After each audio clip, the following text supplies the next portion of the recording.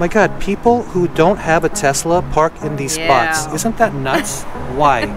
I just am literally watching this guy and wearing a pink backpack. Yeah. So weirdo, he's bald. See him over here.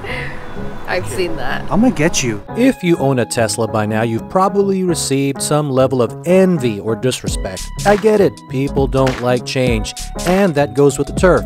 But sometimes people take it a little too far, like at the brand new Northridge, California supercharger. Look, check out this hybrid Cadillac Escalade SUV charging at the supercharger. Yes, another EV is finally charging at a Tesla supercharger. Wait, it's not charging here, it's parked. Maybe they were charging and they stopped charging and they're going pee pee. Must be a fluke. Hold up a Nissan Sentra, again, using the superchargers. Not using the superchargers, just blocking a Tesla owner from charging.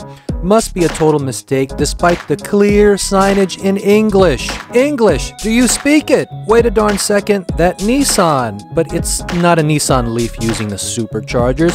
Do Nissan Leafs look like this now? Is this the new Nissan Leaf model? I wasn't going to confront these guys or vandalize their cars or prank them in some way because, you know, they might think I'm a Tesla douchey on the left hand side. So I do my thing for my video and start interviewing people like Brianna.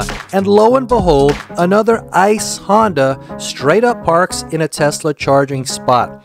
This time, the dude, the employee, had a little pink backpack. And if you're gonna wear pink, you gotta be rockin' the pink. This is rockin' the pink.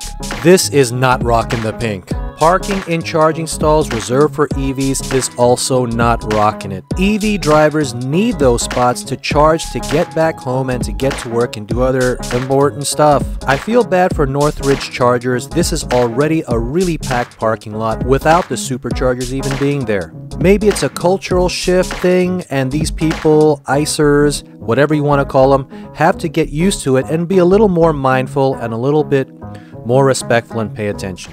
I mean, I got to admit, I did something like this out of spite with my Corvette when a Chase Bank in Claremont, California decided to give premier parking to clean air vehicles. Lols. I stand by my little statement to the banking clans, but I wasn't preventing someone from charging their vehicle. Can't we all just get along? What should we do?